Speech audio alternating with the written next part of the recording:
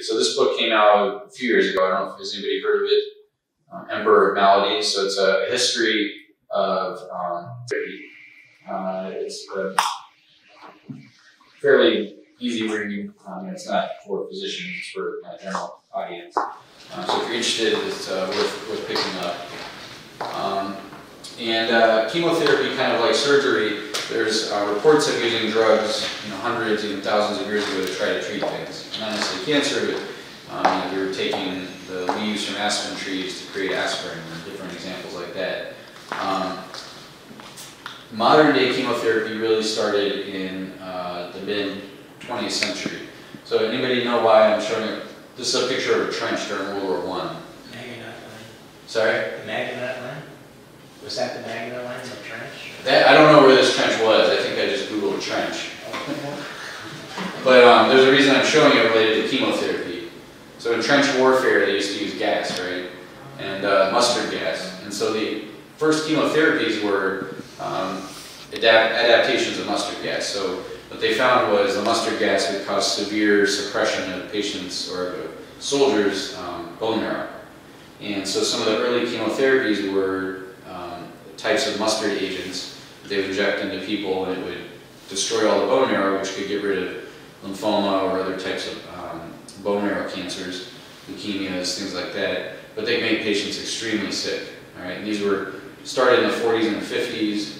Um, again, the Emperor Maladies does a great job of kind of telling the story of the science behind the scientists behind this. And people thought they were absolutely insane to be doing this, but um, they showed that they could get rid of cancer, uh, but it caused awful side effects. So when you hear chemotherapy and you think of that, you know, person with complete hair loss and horrible nausea and vomiting, that's from the 1950s and 60s. There's still side effects to chemotherapy, don't get me wrong. Uh, we've gotten a lot better both with drugs to control the side effects as well as how we administer these drugs. Um, you know, as I mentioned earlier, chemotherapy usually treats cancer systemically, meaning it goes everywhere in the body. Um, another use for chemotherapy is it can make cells more sensitive to radiation damage, and we'll talk about that in a few minutes. Um, modern chemotherapy, as I was saying, we're better at giving doses, so instead of giving huge whopping doses that cause horrible side effects, we got rid of cancer, now we've become much more fine-tuned in how much we give to, you know, hopefully still get rid of the cancer or shut it down while not causing awful side effects. We also have much better controlled side effects, better medications to prevent nausea. Um, there's actually new techniques to prevent hair loss. Um, I don't know if anybody's heard of this, but there's a cap, a cold cap, that women, mostly women, would wear because it's common for hair. So it's a cold cap that they wear during the chemotherapy infusions, and it's been shown to prevent hair loss and low blood counts. So um, that's a common side effect. Remember I said the mustard agents, the mustard gas agents, cause severe suppression of bone marrow. Well, bone marrow produces your blood, so red blood cells, which carry your oxygen around. So if somebody's anemic, they have low red blood cell count.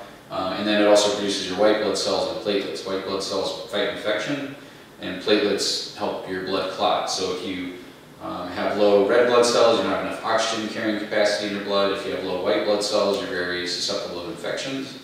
And if you have low platelets, you can be susceptible or have uh, bleeding problems. Um, so we're much better at controlling these. We have drugs to boost blood counts back up. We're better at monitoring them and slowing down or stopping the chemotherapy if blood counts are dropping. Um, and then there's something called targeted agents. This is a whole new class of drugs. Um, you know, the traditional chemotherapy, the concept was we're going to give you something that's really toxic to you and hopefully even more toxic to the cancer. All right, so those mustard agents are a great example of that. Um, there's new types of drugs, which we call targeted agents, which target the cancer. So rather than targeting you and the cancer, they really try to just target the cancer. Um, one example is immunotherapy. Has anybody heard of this?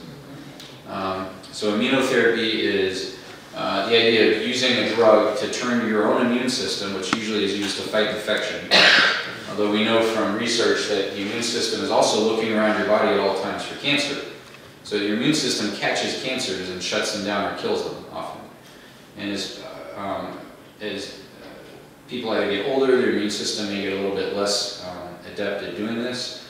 Uh, or cancers just develop that have ways of tricking the immune system into ignoring them we can now give drugs that kind of turn the immune system back on against the cancer.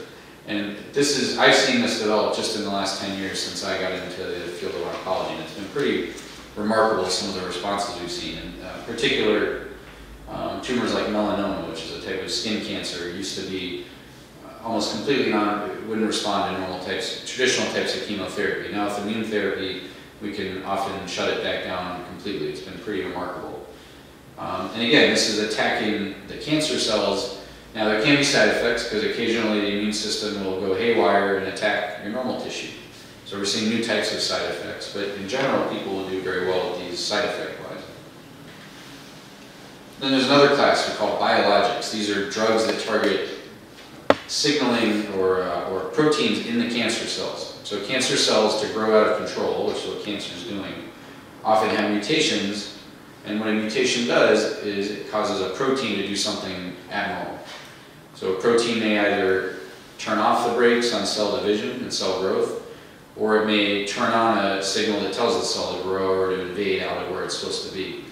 Um, if we can identify one of those proteins in the cancer cells, then we can give a drug that blocks just that problem protein, which in the rest of your body is doing what it's supposed to do. And so if we block it in the cancer, we can preferentially kill the cancer cells or shut them down without causing severe side effects to the patient. Does that make sense? Um, this picture here is probably, have you ever seen a picture like this? So this is uh, what we call a signaling cascade. So this would be, um, this is what a molecular biologist, molecular cell biologist would look at. Um, this is supposed to be the nucleus of the cell where the DNA is. This is the surface of the cell.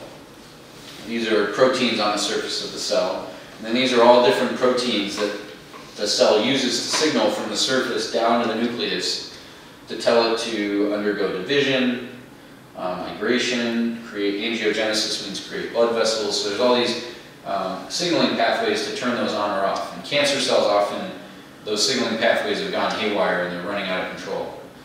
Um, and so these are examples of different drugs that we can give that block specific um, proteins in the cell. Uh, there's a common, probably one of the first or the earliest drugs that we used for this, something called Herceptin. Has anybody heard of Herceptin? Uh, it's a drug that we use in women with a particular kind of breast cancer that has this HER2 protein and it's overexpressed, meaning there's too much of it and it's turned on and it's making the cells grow. So we give Herceptin that blocks that and we can shut the cancer cells down. So it's, and it has fairly minimal side effects around the rest of the body. All right, so as opposed to traditional chemotherapies that kind of damaged everything, you know, it was like a, what is scorched earth um, philosophy, and you just hope you kill the cancer cells and don't kill the patient. With these types of drugs now, we can really, we're starting to target the cancer much more focused, uh, in a much more focused way than just using the uh, traditional chemotherapy. Uh, now that doesn't mean we're not using traditional chemotherapy. Uh, some, some cancers we, we've given, we've stopped that, and we just use these targeted agents, but often we combine them.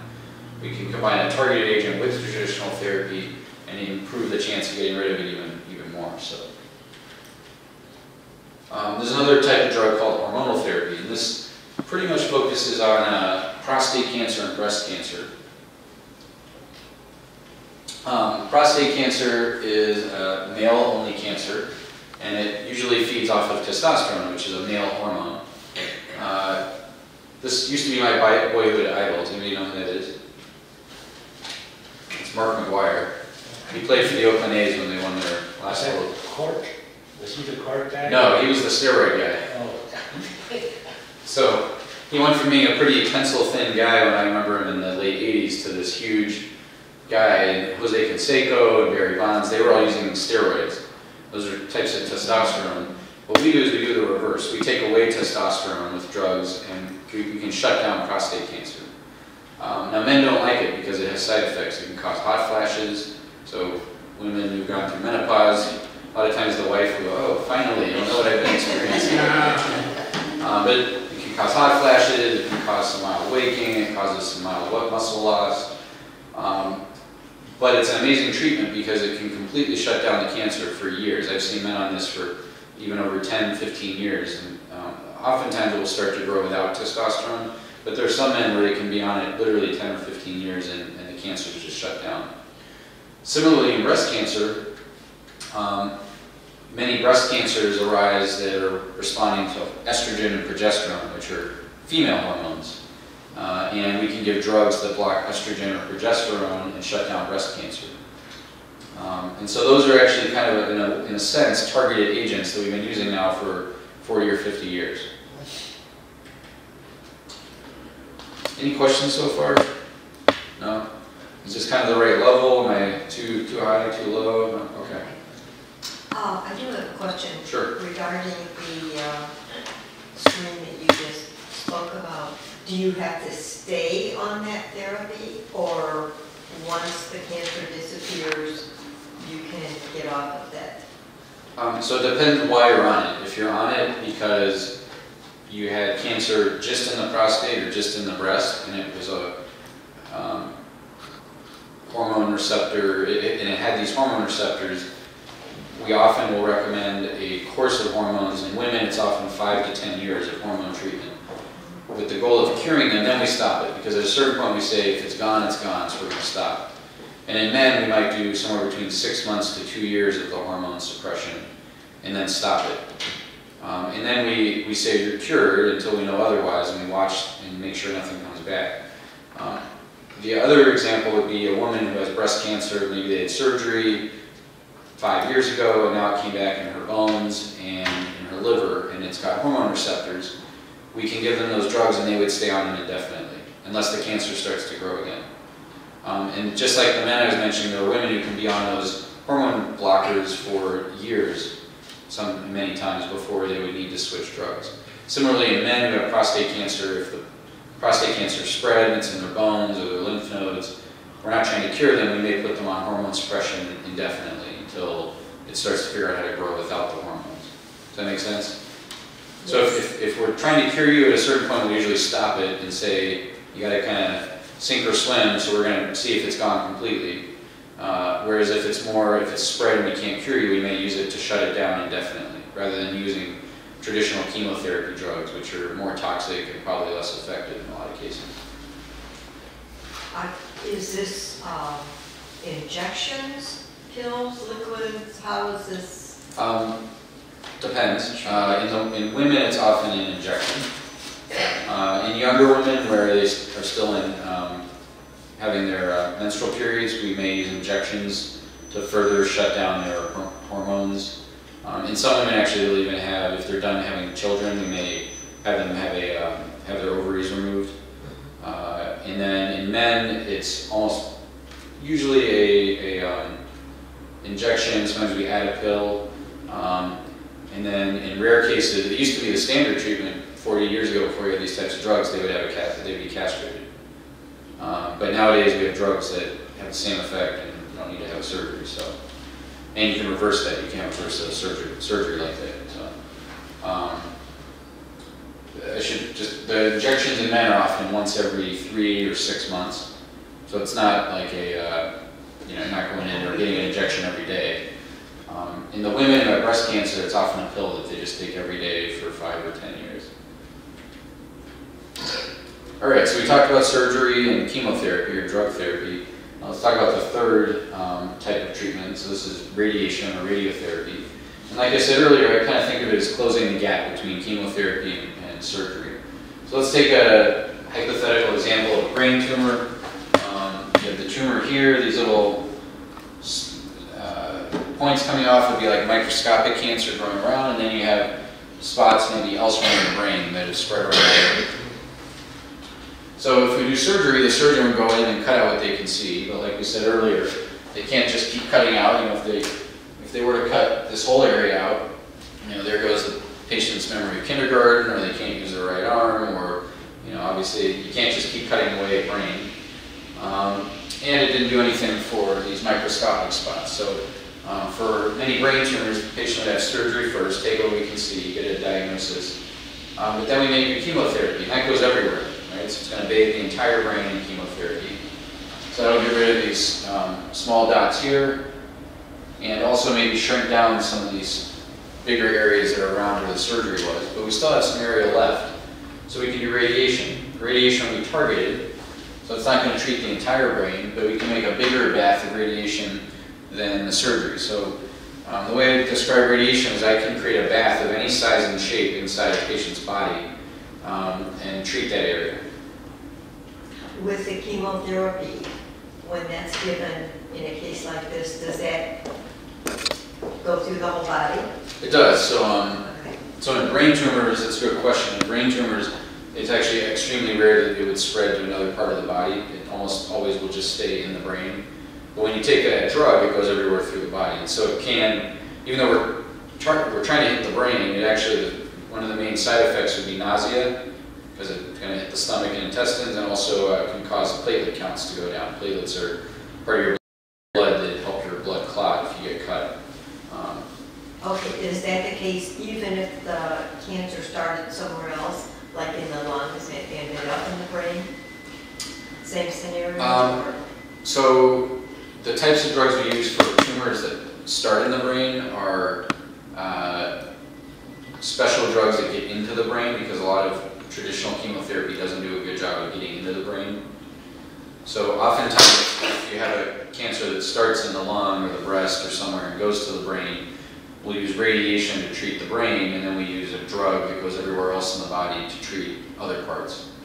Does that make sense? Yes, yes, thank you. With, Oops. Yes? with this, uh, with the um, chemotherapy and the radiation, uh, as people get older, the bone marrow, the effects of these treatments on bone marrow, could that be critical depending on age? Yeah, so as, as folks get older, their uh, ability to, to tolerate and any sort of insult to their body starts to go down, and so um, they're going to be more sensitive to damage to the bone marrow and other things like that. So sometimes a medical oncologist that does chemotherapy might say, you know, man, you're 95, I don't think we can give you chemotherapy safely. Um, I actually often will treat patients with just radiation, who normally would get chemotherapy and radiation. Because I can really target where I'm treating as opposed to going through the whole body, I, I sometimes can treat elderly patients who wouldn't be able to receive chemotherapy. Um, you know, again, that's where we've gotten better also. The medical oncologists know what they can give, we're better at watching it and, and, and dosing the drug so that it's safe.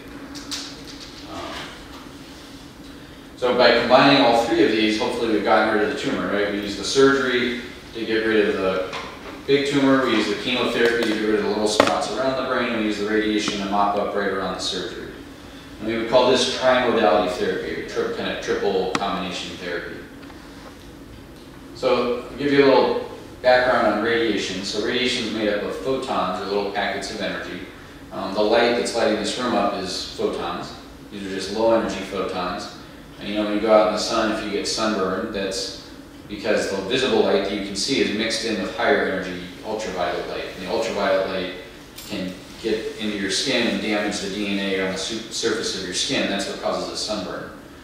Um, the X-rays, I- or the, the radiation I use in my clinic is just much higher energy, and it can go all the way through the entire body and damage the DNA or the brain of any cells that it hits. So if we can get enough of it at the cancer and not too much at the normal tissue, we can kill the cancer and not cause too much damage. Um,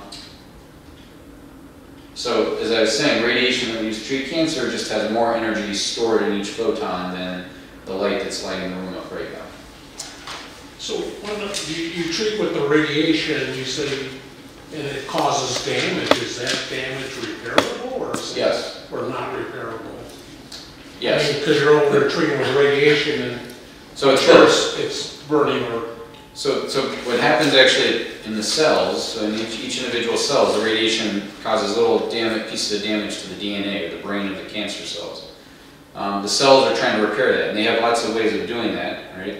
Remember I said when you go out in the sun, your cells are being damaged all the time. Your, your body has developed ways to repair da- damage to the DNA. If we overwhelm, if we cause too much damage and the body can't repair it, then the cells die. So if I give enough radiation to a part of your body, it's going to kill all the cells there, whether it's normal cells or cancer cells. Now, cancer cells are, uh, I should say, normal cells are better at healing than cancer cells. And the, the uh, analogy I like to use when I'm talking to my patients is I say it's uh, like a car driving without brakes. So cancer cells have lost their brakes. And we hit them with radiation, we shred their tires, and they keep driving on the rims and crash and burn.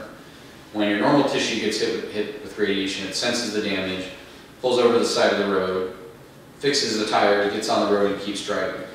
Um, and I think I'll talk about this in a minute, but that, that's why radiation is every day, Monday through Friday, for a few weeks, not one day we're giving one big whopping treatment. We do do that in special cases, um, but traditional radiation for breast cancer, prostate cancer, is once a day, Monday through Friday for several weeks. And that's because in between each treatment, your normal tissue has a chance to repair itself. Um, so this is the electromagnetic spectrum. Um, remember I was saying visible light is no different than X-rays, it just has lower energy. So you go all the way from radio waves, microwaves, visible light, ultraviolet, then we get into X-rays and gamma rays, which is what we use to treat cancer. Um, so radiation is kind of interesting. Remember I said surgery and chemotherapy, we have things from the Egyptians showing they tried surgery, people have been using different forms of drugs for millennia. Radiation, nobody knew it existed until 1895. And then a scientist in um, Austria discovered X-rays. Um, he was in his basement, he had some sort of lab set up there, um, noticed that he turned on a special tube and something was blowing across the room. He said there must be these rays that are transferring the energy, he called them X-rays. He won the Nobel Prize about six years later. Now, it's a little scary because that's 1895. In 1896, the first patients to be treated with radiation for cancer was actually thought to be in Chicago. So within a year, somebody tried this. So this is before we had uh, institutional review boards that make sure people aren't doing crazy experiments on patients. Uh, but someone, within a year, they're already trying to treat cancer with this and lots of other things. So how many people remember maybe going to the shoe store and having your feet x-rayed? Um, they used to treat acne with radiation. Uh, just a kind of side story, I had an old history, uh, high school history teacher, he had, um, called them FFTKMTs, fun facts to know and tell. This is kind of a little radiation. So in 1901, Thomas Edison was displaying an early form of the X-ray machine at the World's Fair, and President McKinley was shot on the other side of the fair. And uh, there's speculation that had they used the X-ray machine and able, been able to find the bullet and maybe save him, but I think they were scared to put a president into an X-ray machine and knew what to do, and ended up dying. So, but um, for the first 50 years or so, from like 1900 to 1950, um, we mostly were using low energy x-rays or using things like radium, which was a natural um, form of getting radiation, uh, to treat cancer. In the 1950s, two things changed. Number one is we developed something called the linear accelerator, which is what most radiation clinics use now around the world. Uh, it's kind of like the old tube TVs. Um, does anybody know how those used to work? You know, before we had flat screens? The big, thick, I'm sure everybody remember. When I talk to medical students, they look at me with blank faces, they don't know what they are, but I remember them, but, um, so it was a little electron gun in the back, and it would accelerate electrons up to the screen, and when they hit the screen, they made it light up. All right, if we go back, where's that? Here we go. So, this is what we do in our clinic every day. This is the old TV, you had an electron gun, and the electron would accelerate and hit the screen, and then it would fluoresce and you'd see light. In our clinic, we have an electron gun, it gets accelerated to a much higher energy, and then it gets pointed down to the patient and hits tungsten titanium, and the tungsten causes x-rays to spray out. You can't see them with your eyes, but it's actually, in some ways, similar technology to what we used to use in the old tube TVs.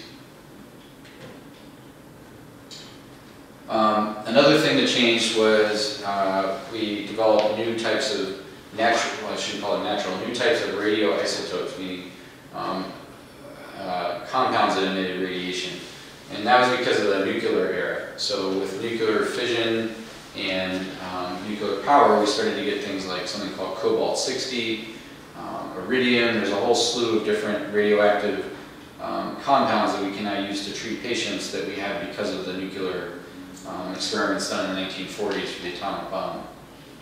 Um, so there's different ways we can deliver radiation. Uh, again, the linear accelerator is what's used in most clinics. Um, there's something called the CyberKnife you might hear about on the radio. Uh, it's actually just a form of linear accelerator. Um, Gamma knife uses little cobalt sources to target things in the brain. And then brachytherapy, where we put radiation inside using seeds or other ways of depositing radiation into a patient. Using what? Seeds, See, that's what I thought yeah, little, little radioactive seeds. So it's commonly used for prostate cancer. Um, but we can also use it for breast cancer, it's been used for other types of tumors as well. Do they swallow it or do you insert it? prostate cancer, we insert it with needles. Mhm. Um, there's also liquid radiation that's used sometimes for thyroid cancer that the patient just swallows. So it's radioactive iodine, and then it gets absorbed and the iodine concentrates in the thyroid gland. Um, Barbara Bush had a thyroid problem. I don't know, I don't know if it was cancer or something else, but, um, so she had to use that. And I remember she, hearing the story that she said the worst part of it was she couldn't hug her grandkids for three months. Because her thyroid was radioactive and they said, don't go near your grandkids. Um, So before we do radiation, we uh, map out what we're going to treat. So if you think back to that brain tumor example, um, this would be the tumor, we got a scan that shows where it is, we can map out areas around it that are at risk for having microscopic cancer, and then we line beams of radiation up from all around the patient to hit what we want to hit and miss what we want to miss. Um, Reminds me of Star Wars. yeah, kind of. Uh, it's um. So this uh, this picture is a topographic map. Um, has anybody seen a topographic map before? It shows you elevations on a mountain. Um, so this is Mount St. Helens, which erupted in 1980, and this is a topographic map. So each of these lines tells you what elevation you're at. So 1250, 1500, 1750. If you're inside the line, you're higher. If you're outside the line, you're lower. Um, we use the same thing in the radiation clinic. We have lines that our computer shows us how much radiation is going to different parts of the body. And I know if I'm inside this blue line, I'm above 20% of the dose, and if I'm outside, I'm below 20%. So this red line is what we want to hit with 100%. And it's going right around where this tumor is that we're targeting. So you can see they use beams coming in from around the patient. Each beam is giving a low dose of radiation, but right around the tumor gets a very high dose of radiation. So you're able to see, okay, if that's a brain tumor and you're doing the radiation, you're able to see where that beam is hitting? So we, we plan it out on a scan before the patient comes to our clinic. Uh, and so this is an example where we have a scan and we, in our computer system, line the beams up from all different angles. Oh, I see, the machine, or the, yeah. Yeah, when the patient comes in, they're put on the table and they're in a mask or a mold that keeps them in the same position every day. And we take x-rays to make sure they're in exactly the right position. And then we turn the machine on and it's at each of the angles that the computer figured out for us. Um, So we, well, we can use this then to know how much radiation is going to the tumor. But we can also use it to know how much radiation is going to the eyes or the rest of the brain.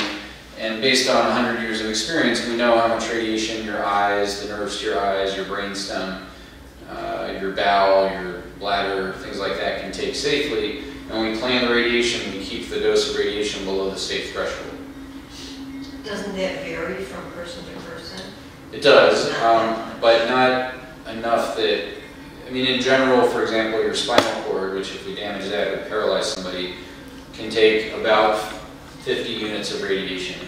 There are probably some people you could give 55, and maybe some people you give 51. So we set the safe cutoff at 50, which means the chance of having damage is less than, you know, one in a thousand. Um, Is that monitored so that it might change from treatment to treatment? Or, I mean, the, the progress, or it's just decided at the beginning and then that's what's continually given? Oh, good question. So, um, oftentimes we just do it all the way through because nothing changes. Um, but in certain types of cancer, there may be change. I think the most common one I deal with is throat cancer. So when we're treating a throat cancer, the patient's throat gets very sore. After about two or three weeks, and it's seven weeks of treatment. So if their throat gets really sore, they can stop eating, or at least eat a lot less, and they start losing weight, and they may get thinner. Well, my computer planned out the radiation expecting their neck was 16 inches around. And so it's pushing enough radiation in to get to the tumor for 16 inch neck. But if now it's a 15 inch neck, everything is, going to get more radiation on the inside because it's, there's less tissue. So we can take them, say, three weeks into treatment, rescan them, replan everything, and kind of keep going forward with a new plan that's adapted. Also, sometimes the tumor will shrink.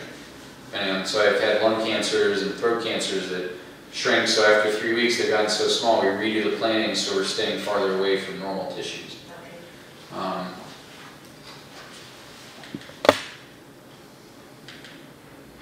let's see. Uh, also, just one other thing is there are some other types of radiation. Uh, the one you may have heard of on the radio is proton therapy. Uh, there's a center in Warrenville. Um, this has the same effect on killing cancer cells. The difference is it gives less radiation to surrounding normal tissue. So in special cases, children with tumors, people who have cancers next to an area that already got radiation, protons can allow them to be treated where I can't treat them with x-rays. Um, I kind of already touched on this, why there's side effects. I said, you know, the normal tissue is better at healing than the tumor, uh, but there's still damage. And so the art of what I do is balancing the chance of controlling the tumor with the chance of causing side effects in the patient. Um, you know, we're willing to accept some mild side effects if that means we can get rid of the tumor, right? I could treat, I could treat somebody with a very low dose that causes no side effects, but it's not gonna get rid of the tumor. I could treat somebody with a really high dose that's gonna absolutely get rid of the tumor, but it might make, you know, if it was a prostate cancer, it might make the rear end fall off. Um, and so you have to kind of work in between. So we have enough radiation that it, most of the time will get rid of the cancer, but shouldn't cause severe damage to the patient. Um, so this is where there's a lot of active research, and my, my specialty is how can we adjust the radiation, how can we target it better, how can we change how we deliver it to optimize the cancer killing and, and reduce the um, side effects to the patient. So here's the example I was saying. So this, this graph is uh, the dose of radiation, so low dose up to a high dose, and the chance of response or toxicity. So this is the tumor. So as we go up, this is the 100% cure, this would be 0%, and this is damage to normal tissue. So no toxicity, really high toxicity or damage. So if I give a low dose of radiation, I don't cause any damage, but my chance of curing the cancer is only 20%. If I give a medium dose of radiation, I have a little bit of damage, but my chance of curing the cancer is maybe 80, 90%. And if I give a really high whopping dose, I kill the cancer, but my normal tissue damage is really high. So, you know, we're always kind of striving for that blue line, and it does vary patient to patient. It can change depending on where the tumor is. Um, and so that's, again, kind of the art of what I do.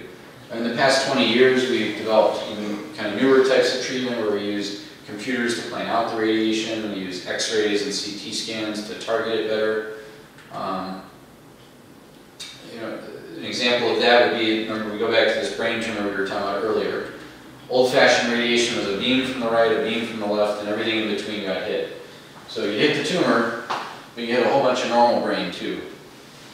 All right, then in like the 1980s and 90s, we started to do what we called three-dimensional conformal radiation.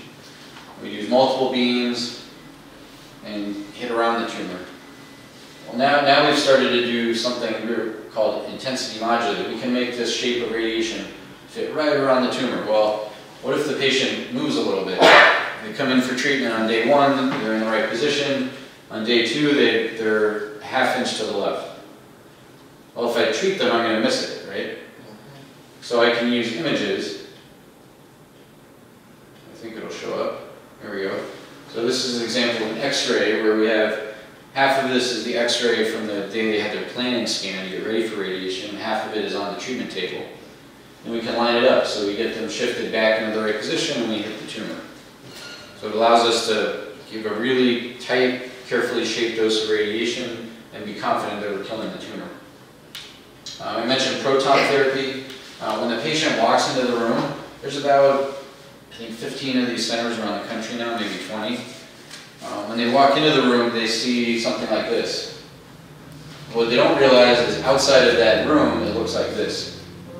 It's a three-story tall structure. These are, uh, for one of these, it's about $20 million, most of them have four of these structures. You're talking about 100, or even after all the construction everything, a couple hundred million dollar facility. So it's extremely expensive. Um, the cost of treating is more expensive.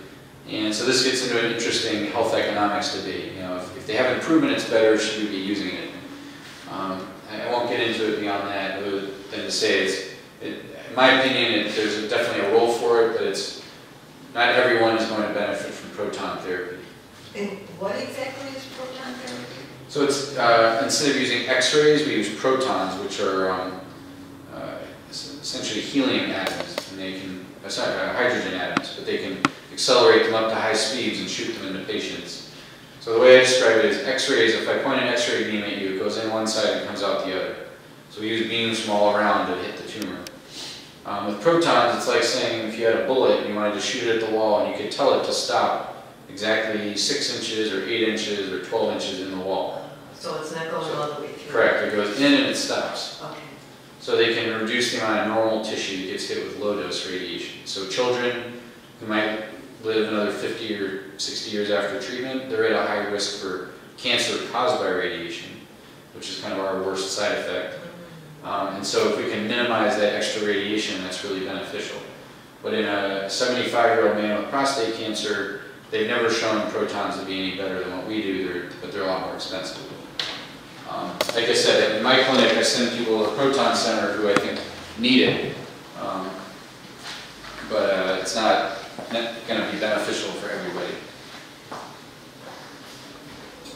All right, we'll go over a few cases and then um, we'll have time for questions. So, um, case one, this is a patient with breast cancer. This is uh, the most common type of cancer in women in the United States. Uh, this lady present, uh, came in with a lump in her left breast. She didn't have any lumps in her armpit. So um, we actually combined uh, treatment for her. She had she would have surgery, often a lumpectomy, where they take just the tumor out of the breast. Um, then she would have chemotherapy, but just with hormone treatment, assuming they don't find any lymph nodes.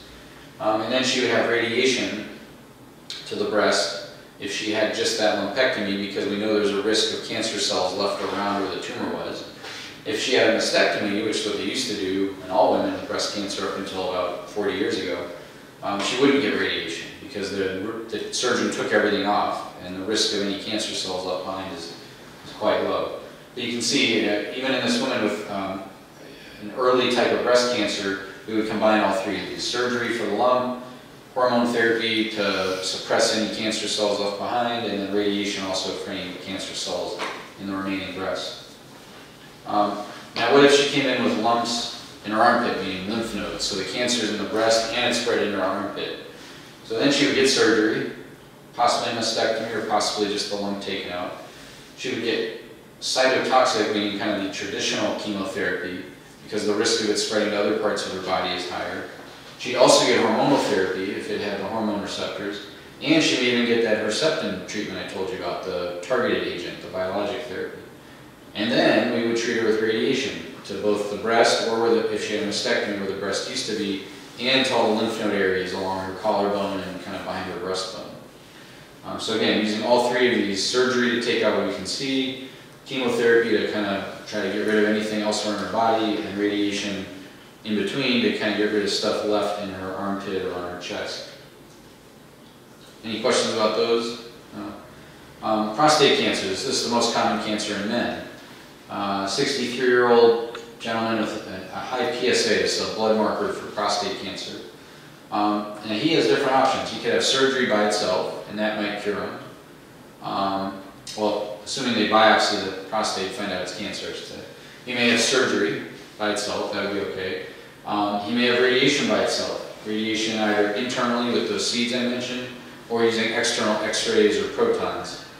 Um, Depending on what they find after either of those, he also could have hormone treatment or chemotherapy. And then if it came back elsewhere in his body, then he may have chemotherapy. Uh, colon cancer. So this is another very common type of cancer in men and women. Um, and uh, so in a 60, yeah, so in men, in men and women, it's the third most common cancer. So in men, the most common is prostate, then lung, and then colon, and in women, it's breast, uh, lung and colon. Um, so 61-year-old woman, she had blood in her stools for a few months, she had colonoscopy and they found a cancer. Um, they would often do surgery to take it out. If it's in the main part of the colon, which means from here around to about here, that part of the colon flops around inside. So I can't do radiation, I can't target it reliably. So I, I'm not going to treat somebody's entire belly. So then she would just have chemotherapy after, potentially traditional chemotherapy, maybe with a biologic type of drug. If it's in her rectum, which is the end of the colon down here, uh, that's much harder to operate on and there's a higher risk of leaving cells behind. It's also easier for me to target because things don't move down there. so oftentimes there, we'll do radiation chemotherapy first to help the surgeon, shrink down the tumor, then the surgeon can take it out. Um, a new area we're looking at in colon, in rectal cancer is doing chemotherapy and radiation and just watching. And in a good proportion of patients, we can sometimes completely avoid surgery. Could, could you repeat that, please? So a new, a new area we're looking, we've been looking at in the last five or 10 years is um, doing chemotherapy and radiation for rectal cancer, which is colon cancer, which is kind of at the, the very end of the colon in the pelvis.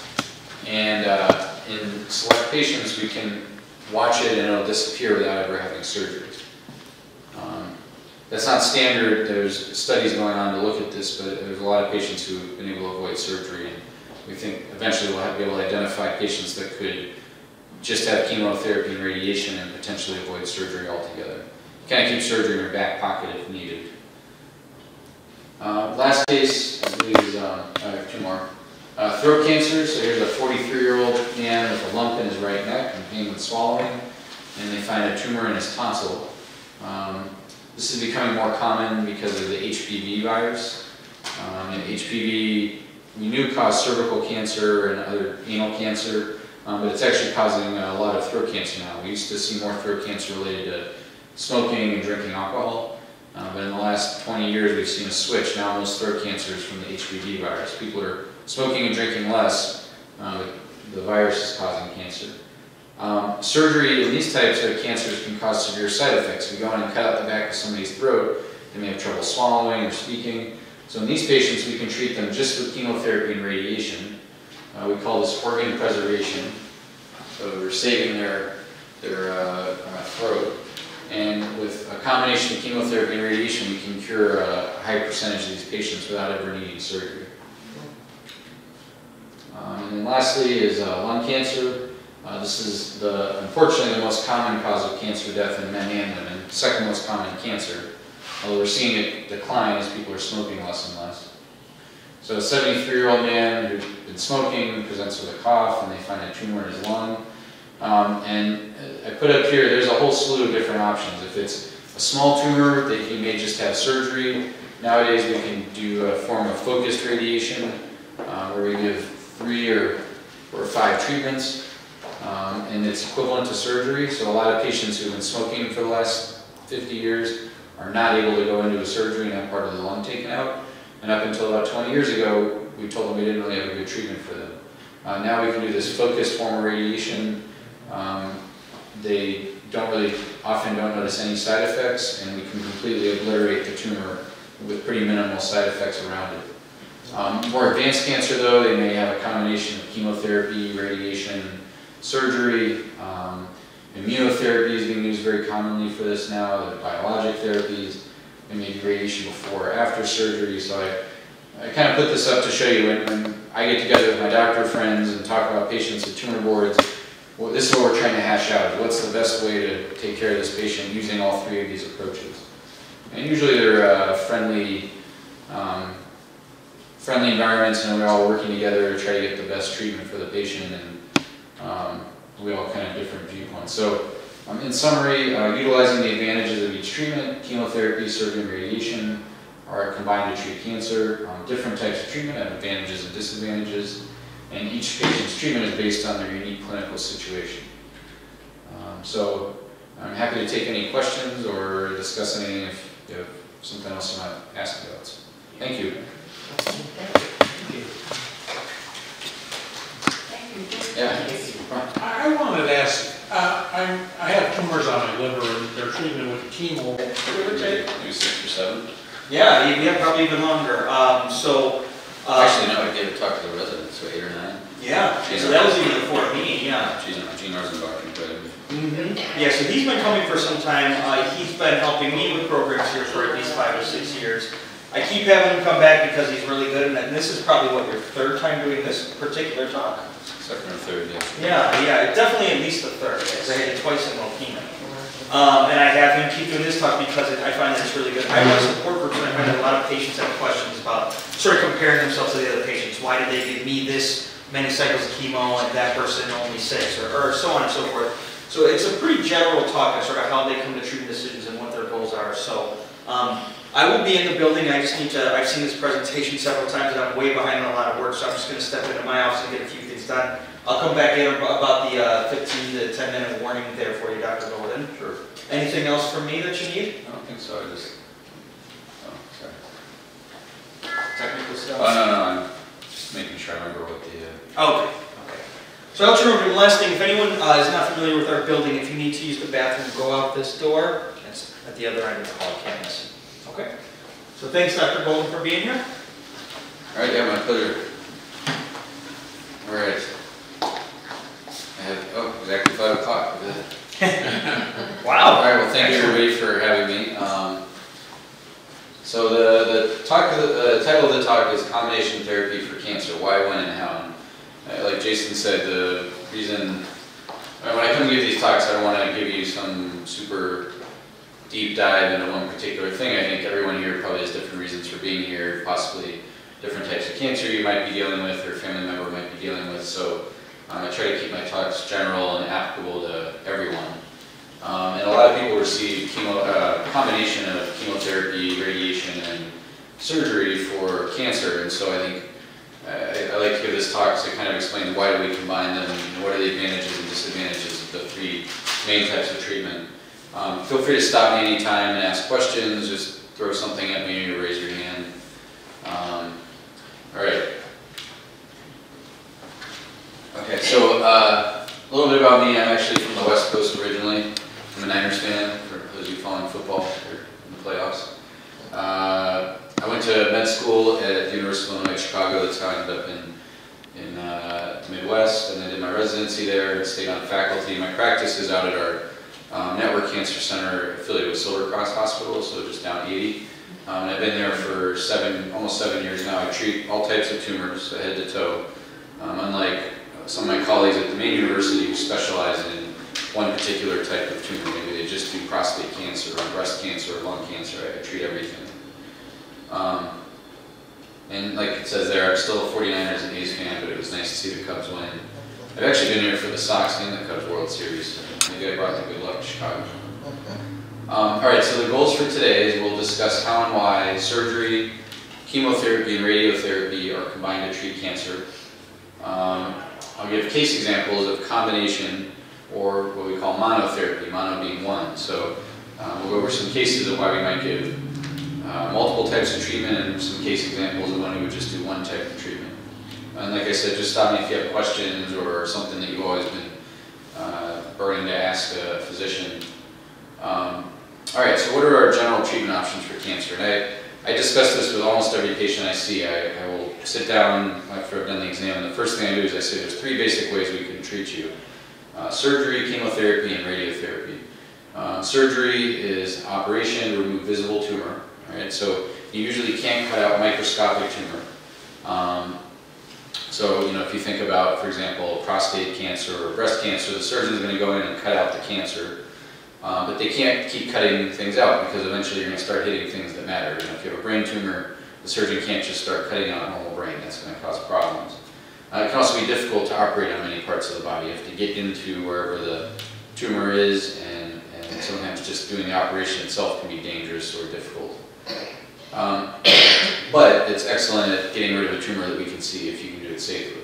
Uh, chemotherapy um, is really now not just the traditional chemotherapy that people think of that causes hair loss or nausea or vomiting, but there's new types of chemotherapy. I consider chemotherapy any drug that people take to treat cancer. So it can be injected um, or taken by mouth now. A lot of chemotherapy agents are now um, taken orally.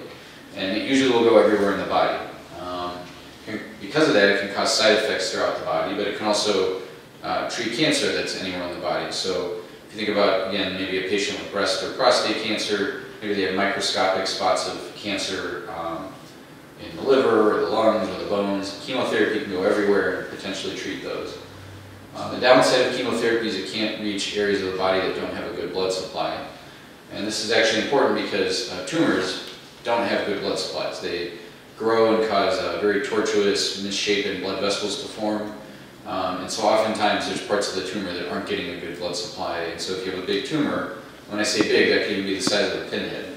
But to a tumor that's big. Um, there may be parts of it that aren't getting uh, much chemotherapy. Um, and so because of that, you might not get enough chemotherapy to kill uh, larger tumor. Um, and then the last type of treatment option, which is what I do, is radiation or radiotherapy. Um, this, and I'll show you later, but I kind of say it fills in between chemotherapy and surgery. It's um, not dependent on blood supply, so it can kill tumors that maybe don't have a good blood supply. Um, but we can also treat normal tissue around the tumor and kill microscopic cancer cells without potentially causing severe damage like you might with surgery, all right? Um, now radiation is not as good at surgery in a lot of types of tumors at getting rid of a big tumor we can see. And obviously, obviously, but um, radiation, if we treat your entire body with it, can be quite toxic. Um, so unlike chemotherapy, it's difficult to treat uh, your entire body with radiation. There are actually ways we do that, sometimes with very low doses um, for um, certain types of blood cancers and other things, but it's, it's not commonly used that way. So let's, let's talk about surgery, the history of surgery. And this is something that's been going on for millennia. Um, there's old, I think, Egyptian papyrus, uh, or I don't know if papyrus or paintings on walls in pyramids that they found that show, that describe breast cancer and show someone having a mastectomy to remove the breast. Um, does anybody know uh, where what surgeons used to be, say five, six hundred years ago? They, they did two things. They did surgery, they did something else. They were also barbers, so they were called the surgeon barbers. Right? Probably because they, they were the only people in town or in the city that had, that had something sharp.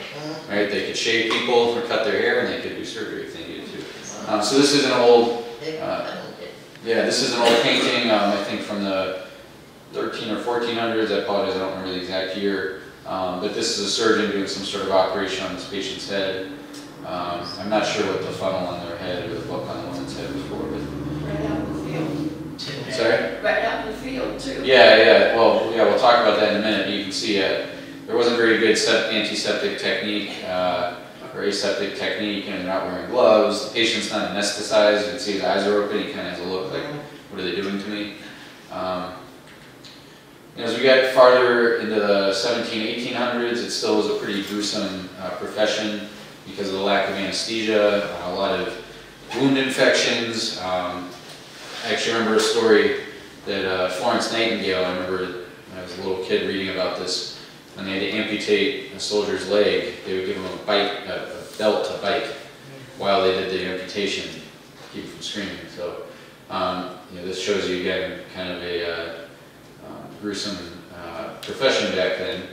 Um, but things have come along, and uh, so the barber shop pole that you see, uh, the common one with the red and the blue stripes, is actually because of the surgeon. Um, one thing I read, it's it's a little unclear where that tradition comes from, but one thing I read was that they used to hang their rags outside on the pole to dry, and so some of them would be bloody and some of them would be clean. Um, so then we kind of start getting into modern surgery. So in the late 1800s, there were two huge advances um, that helped uh, get us into the modern era of surgery. Um, one was, you can see a big change here, these people are wearing white, presumably sterile gowns. Um, they're still not wearing face masks, uh, but um, a real advance in aseptic technique. So um, clean, you know, of germ theory, uh, being clean, washing your hands, preventing infections. And then the other big advance was anesthesia. Um, so the early things were chloroform or ether, but we've come a long way since then. But the ability to put somebody to sleep, operate on them while they were asleep, and then wake them back up safely uh, opened up a lot of avenues for surgery. Um, so in modern surgery, uh, you can see because of better aseptic technique, better anesthesia, we now use advanced imaging, meaning like CT scans, MRIs, to avoid normal tissues. Um, uh, intraoperative monitoring. So uh, I don't know if anybody's heard, they, they can do brain surgeries where they actually do them with the patient awake. And they can monitor different areas of the brain to make sure that they're not hitting their speech center or the part of their brain that controls. I, I've heard examples of piano players where they would have the person move their fingers and then if they hit a spot and the fingers started bouncing, they'd back up to, okay, we can't take that out. Um, and then new techniques to help distinguish tumor from normal tissue. So one example in uh, neurosurgery, brain tumors, is using a special dye that they inject, and the tumor will glow bright under a special fluorescent light. So the surgeon can turn the light on and see if there's any tumor left and get a more complete resection, more complete surgical remover, removal, um, while avoiding normal tissue. So pretty amazing technology now in uh, modern day surgery. Um, another thing I I imagine many of you have heard about is robotic surgery, right? So this doesn't mean that uh, um, a robot is operating on you autonomously. Um, this is the surgeon sitting across the room, and actually there's even people piloting uh, using this across thousands of miles. So you could have a surgeon sitting in a, um, say, a naval aircraft carrier operating on the battlefield using one of these robots. Um, most of the time now, they're sitting about 10 feet away from the patient. Uh, so you can see, I guess my laser pointer doesn't work with this.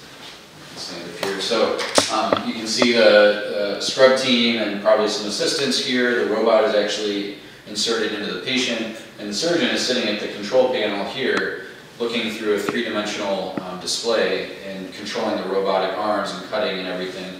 Um, and it gives them more degrees of freedom. So the robotic arms can actually move and turn more ways than your hand could. The arms are also much smaller, so they get into smaller areas with smaller incisions. Um, this has reduced uh, um, length of hospital stays, reduced blood loss during surgery. Um, it's created new, uh, faster healing. Um, I don't know, um, I'm not aware personally of any studies that show this has improved cure rates for cancer because surgeons were pretty good at getting things out in the past. Um, but this certainly has, I think, advanced the, the um, uh, surgical field and, and opened up some areas both to reduce uh, side effects of surgery um, and the ease of recovery for the patient. Um, here's another example of intraoperative monitoring where they um, attach electrodes to the tongue and then can um, track what they're doing in the brain and see if there's any sort of, uh, if they're triggering any sort of reaction in the tongue. Um, how about chemo?